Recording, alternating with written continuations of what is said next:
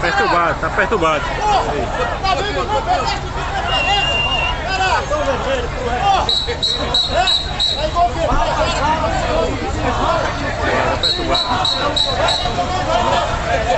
Pra vocês também.